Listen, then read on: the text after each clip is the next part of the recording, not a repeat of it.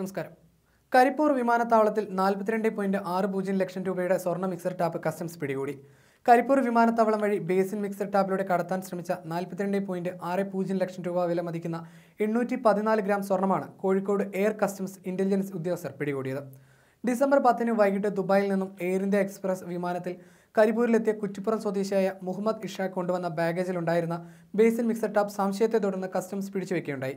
തുടർന്ന് ഇന്നലെ വിദഗ്ധരുടെ സഹായത്തോടെ കസ്റ്റംസ് ഉദ്യോഗസ്ഥർ മിക്സർ ടാപ്പ് തുറന്നു പരിശോധിച്ചപ്പോഴാണ് എണ്ണൂറ്റി പതിനാല് ഗ്രാം തൂക്കമുള്ള മൂന്ന് സ്വർണ റോഡുകൾ ലഭിച്ചത്. കള്ളക്കടത്ത് സംഘം തനിക്ക് വാഗ്ദാനം ചെയ്ത പ്രതിഫലമായ മുപ്പതിനായിരം രൂപയ്ക്ക് വേണ്ടിയാണ് ഇഷാഖ് ഇങ്ങനെ സ്വർണം കടത്താൻ ശ്രമിച്ചതെന്ന് കസ്റ്റംസ് ഉദ്യോഗസ്ഥർ പറഞ്ഞു. ഇതുമായി ബന്ധപ്പെട്ട് കസ്റ്റംസ് സമഗ്ര അന്വേഷണം നടത്തി വരികയാണ്. അതേസമയം കഴിഞ്ഞ ദിവസം കരിപ്പൂർ എയർപോർട്ടിൽ മൂന്ന് കേസുകളിലായി രണ്ടര കിലോയിലധികം സ്വർണം പിടികൂടിയിരുന്നു. ഏകദേശം ഒന്ന് പോയിന്റ് രണ്ട് കോടി രൂപയുടെ സ്വർണമാണ് ഇന്റലിജൻസ് യൂണിറ്റും കസ്റ്റംസ് ഉദ്യോഗസ്ഥരും ചേർന്ന് പിടികൂടിയത്. ഷാർജയിൽ നിന്നെത്തിയ കാസർഗോഡ് സ്വദേശി അബ്ദുൾ സലാമിൽ നിന്നും മുന്നൂറ്റി എഴുപത്തിനാല് ഗ്രാം സ്വർണമാണ് പിടികൂടിയത്. രണ്ട് ഗുളിക രൂപത്തിലാക്കിയാണ് സ്വർണം എത്തിച്ചത്. ജിദ്ദയിൽ നിന്നുള്ള ഉംറ തീർത്ഥാടക സംഘം എത്തിയ കോഴിക്കോട് മുക്കം സ്വദേശി അബ്ദുൾ ഷെരീഫിൽ നിന്ന് നാല് ഗുളിക രൂപത്തിലുള്ള ആയിരത്തി അൻപത്തി ഒൻപത് ഗ്രാം സ്വർണം പിടികൂടി. റിയാദിൽ നിന്നെത്തിയ വേങ്ങര സ്വദേശി വളപ്പിൽ റഫീഖിൽ നിന്ന് നാല് ഗുളിക രൂപത്തിലായി ആയിരത്തി അറുപത്തൊൻപത് ഗ്രാം സ്വർണവും പിടികൂടി.